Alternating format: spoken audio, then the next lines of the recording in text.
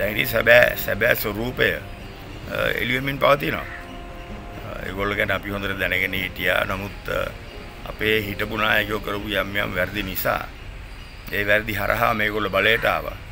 නමුත් ඒගොල්ලොන්ගේ සැබෑ ස්වරූපය ඒගොල්ලෝ මොන වගේ දේශපාලනයක්ද කරන්නේ මොන වගේ චරිතද ඒගොල්ලෝ දක්ෂයෝද නැද්ද කියලා දැන් ජනතාවට දැනගන්න අවස්ථාවක් හම්බෙමින් පවතිනවා. භවිෂ්‍ය ගෙනාවුත් මේක දැන් පරාජය කරන්න පුළුවන් තත්ත්වයකට ඔබතුමාට වෙන්නේ. නෑ ඉතින් පාර්ලිමේන්තුවේ ඊටම වාසනාවන්ත ලෙස ඒගොල්ලන්ට තුනෙන් දෙක බලයක් හම්බ වුණා. ඒක හන්ද අපේ පාර්ලිමේන්තුවේදී පරාජය කිරීමේ හැකියාවක් මේ වෙනකොට නෑ. නමුත් අපි උත්සාහ කරන්නේ අපි ජනතාව දැනුවත් කරලා ජනතා විරෝධය අපි ගොඩනගනවා. ජනතාව මේක තේරුම් ගන්නවා දැන්ටම තේරුම් අරන් තියෙනවා. ජනතාවගේ මතයට ඒගොල්ලන්ට අහුම්කම් දෙන්න වෙනවා.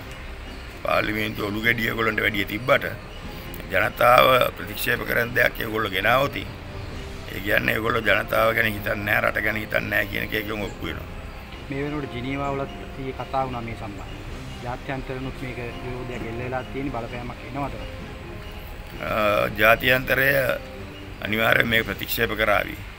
මොකද අධිකරණ කොමිසම පොලිස් කොමිසම මැතිවරණ කොමිසම විගණන කොමිසම ඒ වගේ දේවල් ජාත්‍යන්තර ක්‍රමවේද අනුව සදාචාරය අනුව ලෝක පිළිගත්ත දේවල්. ඒවා මේගොල්ලෝ අතුගාලා දාන්න හදනවා. ඒක කළා ඉවරලා ජනාධිපතිගේ මුදල් ගනුදෙනු විගණනය කරන්න බෑ අගමැතිගේ මුදල් ගනුදෙනු විගණනය කරන්න බෑ.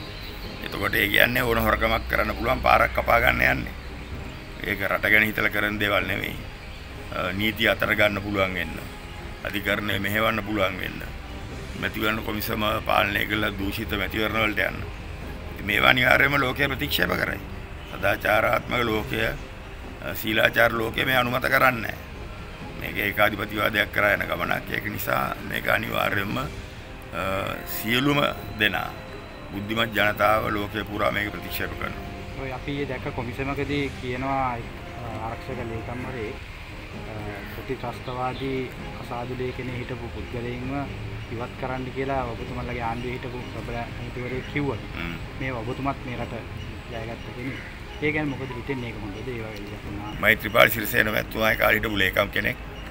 එතකොට ඒ ලේකම් අවුරුද්දක් විතර රාජකාරී කරනකොට ඒ ලේකම් මාරු කරා.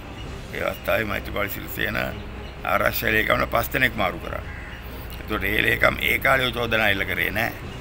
දැන් අර දේශපාලන වාසිකරණ බලාගෙන කරන බඩගෝස්තරවාදී වැඩක් ඒ ලේකම් කරන්න උත්සාහ කරන්නේ. නමුත් කවුරු හරි ඒක ප්‍රතික්ෂේප ඒ වෙලාවේ එවැනි දේවල් යෝජනා කරා නම් එhmenan ඒ වෙලාවේ ප්‍රතික්ෂේප කරන් තිබ්බා. ලේකම්ට බලය තියෙනවානේ. දැන් ආණ්ඩු පෙරලිලා අවුරුදු ගානකට පස්සේ ලේකම් මේවා ගැන දොඩවන්නේ මොකටද? දැන් මන්තිරු නීතියක් ඇවිල්ලා තියෙනවා. මේ සම්බන්ධව යමක් තියෙනවද ඔබතුමාට කියන්නේ මේක හොඳ වැඩක්. ඒ මන්තිරු නීතිය ඉතා හොඳයි. මමත් මේ වාහනේ යන ගම බදා මගේ තලුත් රියදුරෙක් ඉන්නේ. මේ දවස් ටිකේම කරන්නේ මන්තිරු ගැන උගන්වන එක. ඒක අනිවාර්යයෙන් මේ රටේ ජනතාව ජනතාවගේ ආරක්ෂාවට වාහනවල ආරක්ෂාවට පිළිපැදිය යුතු කරුණක්. ඒවා නැති හින්දා තමයි අපේ හුඟා රටවහන අනුතුරු වෙනවා ජනතාව අපි දකිනවා පාර පනින්න යනකොට අහිංසක කාන්තාව දරුව පවා ඊතක්ෂරපත් වෙනවා.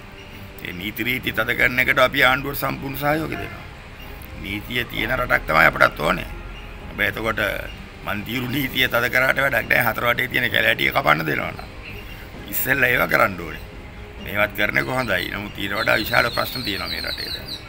breaking.lk